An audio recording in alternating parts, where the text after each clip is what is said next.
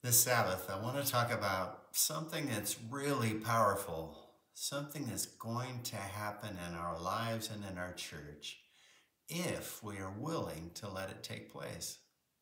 What's going to happen in your life and my life if we will make this choice together? Our study of the Holy Spirit now will move from John's Gospel to the book of Acts. Who is the most prominent character in the book of Acts? We often say it's the Acts of the Apostles.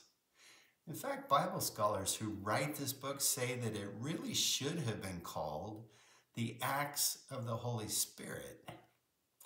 The Spirit is the source of power for living the victorious Christian life. And apart from the Holy Spirit, God's people, you and I, can do nothing.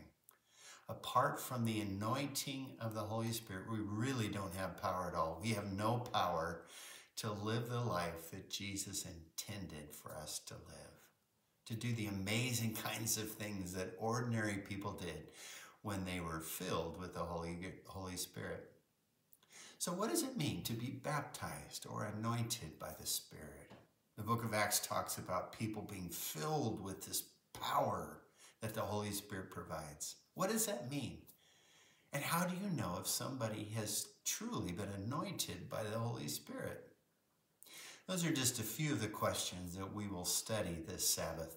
Anybody listening to me right now interested in being fully open to the outpouring of God's Spirit, to receiving supernatural power to lead a meaningful, victorious kind of life?